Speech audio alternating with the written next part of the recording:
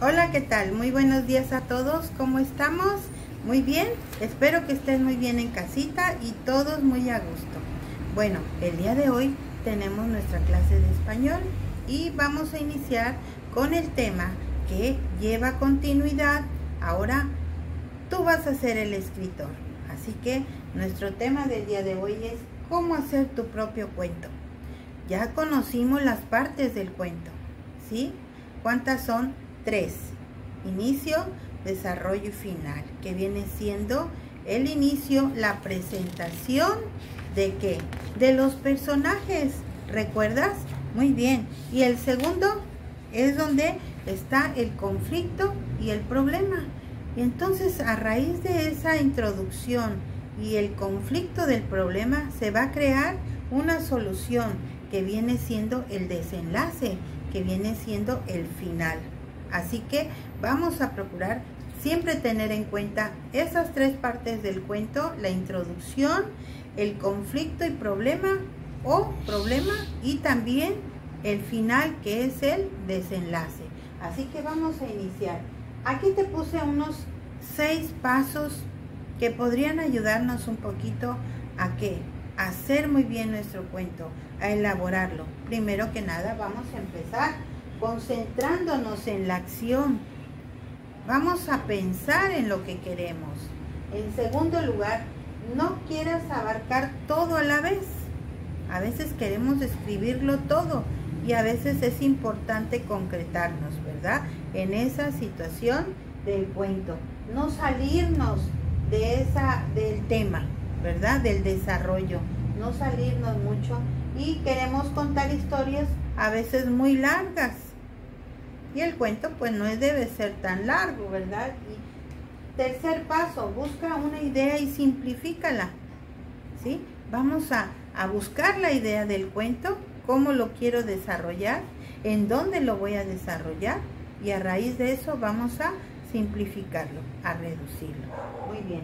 Mantener en suspenso en la segunda parte del cuento que es, ¿qué cosa es? La problemática. Vamos a tener ahí que, alargar un poquito que el suspenso, la problemática. Ahí sí puedes concretarte un poquito más en mantener el suspenso.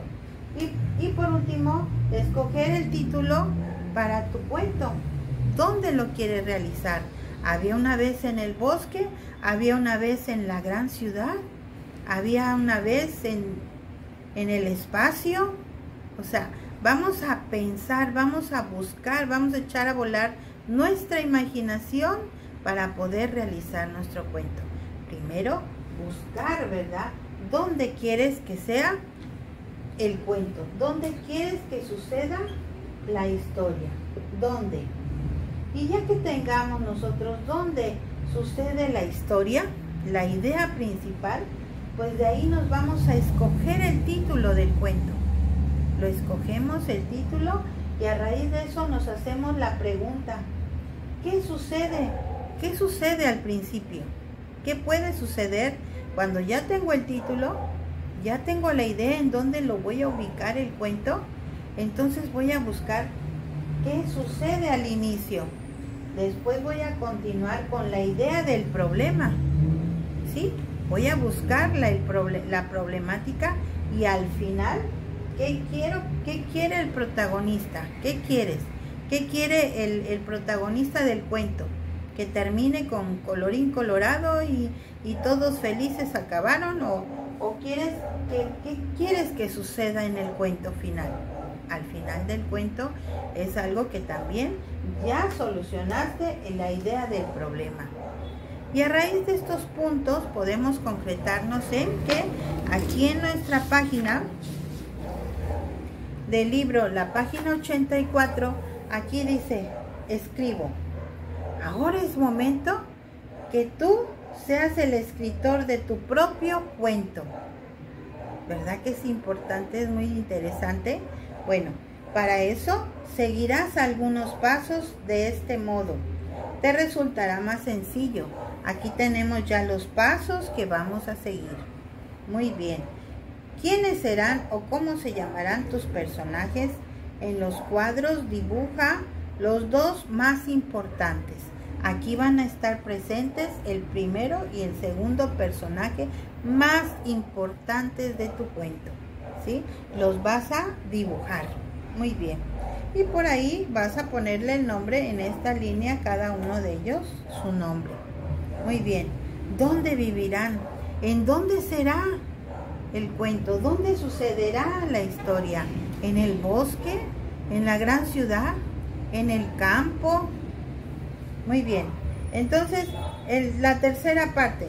¿Qué conflicto debe resolver? Si ya tengo yo el inicio del cuento, de ahí voy a buscar la idea de la problemática para que más tarde, ¿cómo lo resolverán? ¿Cómo lo vamos a resolver? ¿Sí?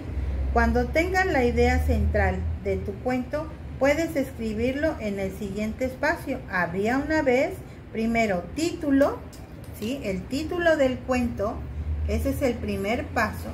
Segundo, había una vez que viene siendo el inicio, la introducción del cuento, donde vas a presentar aquí a tus personajes. Era una vez una niña que se llamaba Olivia la Chillonona. bueno, entonces, entonces hubo un problema. ¿Por qué el trama de la Olivia la Chillonona? ¿Por qué lloraba tanto que hasta la ciudad se inundó? Y al final, ¿cómo quedó? ¿Cómo quedó Olivia la Chillonona? Feliz, ¿verdad? De resolver esta situación. Y también pasa tu cuento en limpio. También puedes ilustrarlo, dibujarlo para que más, para dibujar la parte que más te haya gustado. ¿Sí? Lo más que te haya gustado de este cuento que tú inventaste, lo vas a plasmar en un dibujo lo vas a escribir en una hoja, tamaño carta y un dibujito. Pero lo más reducido que puedas para que nosotros lo podamos compartir en Zoom. Esta vez lo vamos a calificar en Zoom esta participación. Así que espero que lo hagas muy bien. Primero presenta tu actividad en Classroom, la página 84 y 85 y al final lo vas a pasar en limpio. ¿Para qué? Para poderlo compartir y lo vamos a calificar.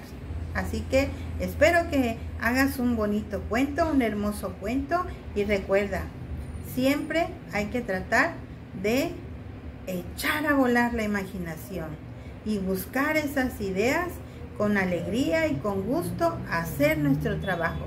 Así que espero tu actividad y que todo salga muy bien. Así que les mando un fuerte abrazo y un beso.